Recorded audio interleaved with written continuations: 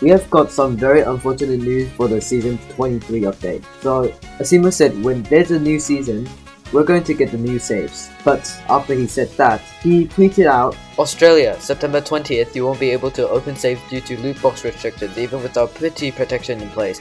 For the effective, VPNs will circumvent the block until we find a way to make safes into something still interesting, yet 100% not random. If you guys are new here, I'm from Australia, and with the tweet I just read out, that restriction will affect me, among with other Australians.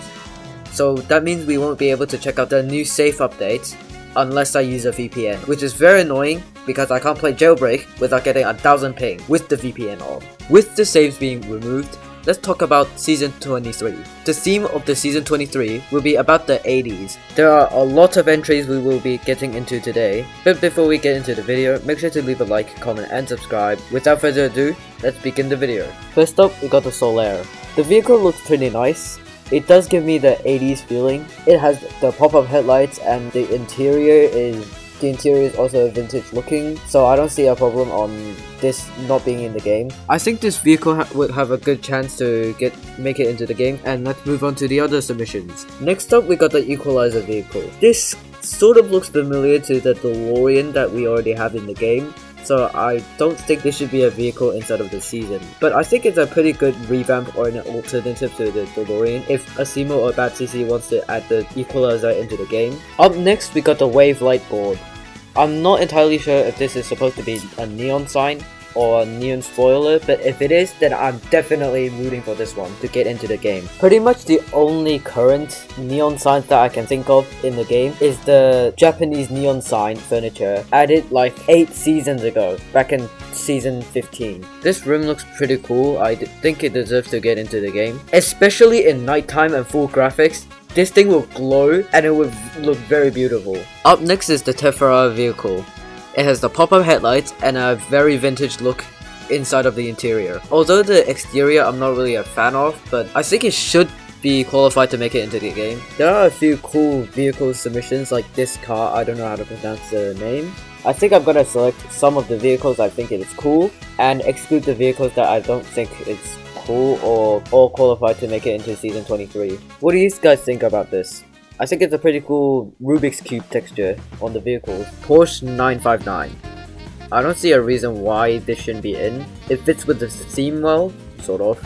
Or maybe people think there's too many sports cars, that's why they don't want it in. I honestly thought it was another RX-7 judging by the name, but this is also a pretty good car. It got the pop-up headlights and a really nice design. This texture is supposed to be a rap reference back in season 5. There is however a refined version of it, but I kinda prefer the season 5 one. Still a pretty cool texture though.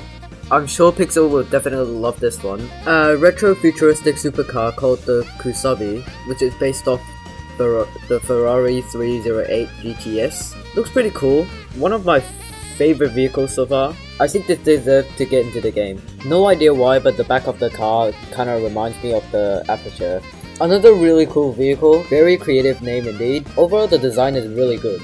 I really like how the doors are like the Falcon Wing doors on the Tesla Model X. And it also kind of reminds me of the FC3S RX-7. Not the RX-7 that we have in the game, the older model that came out in the 80s as well. I'm gonna fast forward a little bit because most of the clips are either not really interesting or they're just mostly vehicles. I also wanted to point out that these are all first impressions. I don't want to make it sound like I'm glazing anyone or anything, but these are actually my first impressions when I first saw those vehicles. All furniture items or submissions.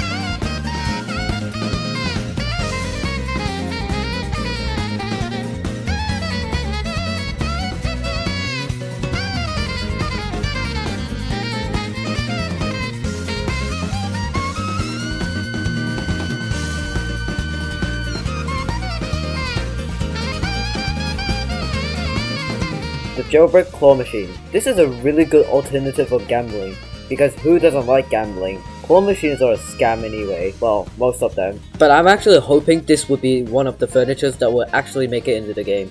Well, that's a bit unfortunate. This post was taken down by the person who originally uploaded it, and judging by the comments, it was not really a good submission.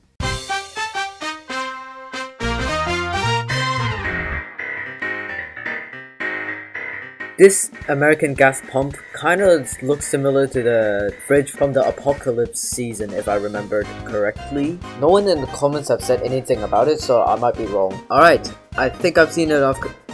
Alright, I think I've seen enough submissions. Let's move on to the conclusion. I picked so many vehicles. Out of however many vehicles that I've picked, which one do I truly think is gonna be Unfortunately, I don't think this Takura is gonna make it in, so I'm gonna close that tab. I don't think the Nightlight is also gonna get in, so sorry. This kind of vehicle is not really my type, so I'll just, I'll eliminate that as well. It's a pretty sick vehicle, but uh, I don't think it's gonna make it into the game either, because this is a submission made like a while ago. This is also not my type of vehicle, so I'm gonna close the tab. This Tortile Nah, I don't think that's gonna make it in. Wait, there's two Porsche 959s, I just realized. I think this 959 is better than the other, so I'm gonna close that tab. This vehicle is good, but I think the rest of the vehicles that I've chose is better than this, so I'm gonna eliminate that one as well. It's really hard to choose because so many of these are really good submissions. So the rims, I think these are the only rims that I can find, and I think they are gonna make it in. The and for the textures, the puzzle cube, the rap god reference, the refined version of the rap god texture. Like I said before, I prefer the previous one, so I think that's not gonna make it in. The disco texture, pretty cool. And finally we have the retro flame texture. For the tires, we got re retro graffiti, retro sun tires, Simon tires. I don't know why I chose the Simon tires. And I love the 80s tires. Those are the only tires I can find. Vinyl's record cover covers, not really a fan of that. The vinyl tables, the DJ booth, the jailbreak claw machine, and the retro futuristic TV unit.